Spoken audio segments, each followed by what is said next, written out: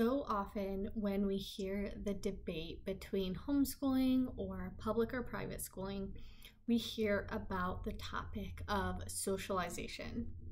I'm sure we all know one of those homeschoolers who they really have been like just at home with just their own family kind of their whole lives. And so they're a bit um, pushed off from the rest of society. And so when they come to interact with people who aren't in their normal sphere of influence, there can be some sort of awkwardness. We always know of the awkward homeschooler.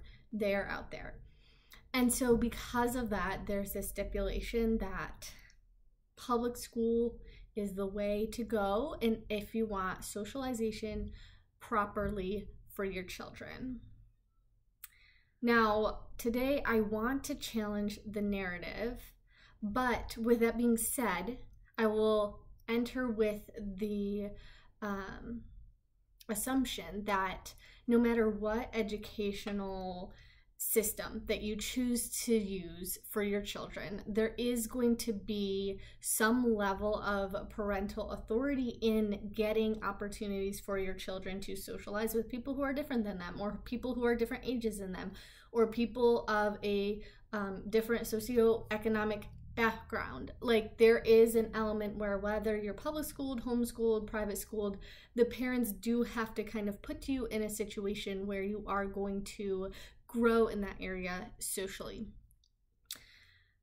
With that being said, I went to private school until I was in fourth grade. So I do not know the public school experience. After that, I was homeschooled. Um, however, I will just, from a school system type of setting, I went to school, you were there for your classes, you maybe got some time to talk during recess or lunchtime, and then you had school and that was your day. And so for me, I actually didn't get to talk. I had friends, and my all the people in the class were like my classmates, and then I had my best friend, and then I had my group of friends or whatever within my class. But the time that we were actually spent interacting and socializing with one another was definitely a lot less than our entire school day. Um, maybe an hour at most per day. And that was five days a week. So maybe like five hours a week of actually socializing with other people now that was only in elementary school and perhaps in high school it's a bit different. I've heard people talk about clubs and sports that they get to interact with which is outside of school which means they're going to school for that six or seven hours and then doing sports on top of that or some sort of club on top of school. Um however I would say, as a general rule, sitting next to your fellow classmates for six hours of the day is probably not the most effective form of communication and of socialization that you'll have to deal with in the real world. Now, granted, in the real world, a lot of people do have jobs um, where they do kind of sit alongside other people and you do your own work and you just kind of interact as as you can. But usually outside of that, a lot of people have friend groups and they have interactions with other people who are different ages in them and different types in them. They have neighbors. They have, you know, obviously the coworkers. They have families.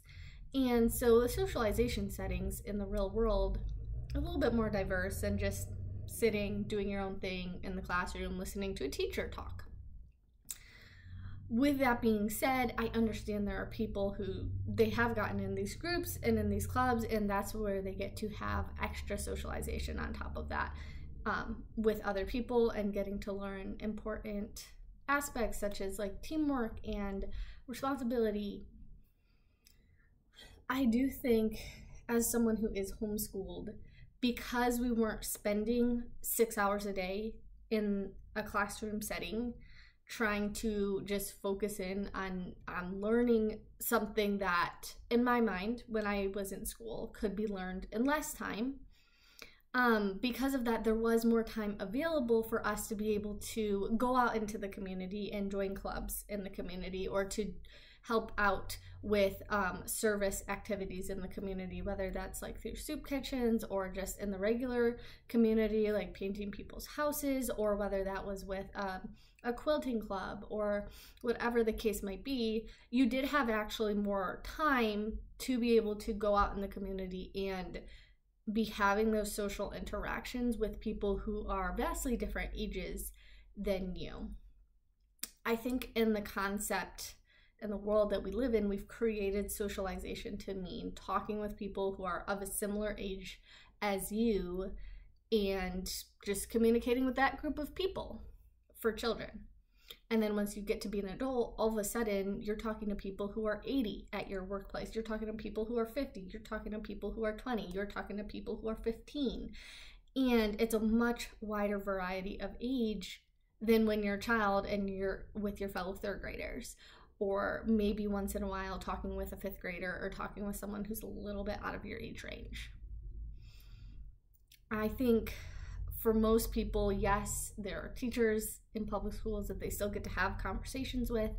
Um, but I think as far as socialization goes and a broad spectrum of socialization, homeschooling does offer that time incentive where you do have more time to be able to go out into your community and have a lot of those interactions with people who are different than you and people who are of different ages and stages of life than you to be able to learn from them and um, learn whether that's skills or just learn from their experiences in life um, rather than creating this almost bubble of peers influencing other peers um, of all the same age group.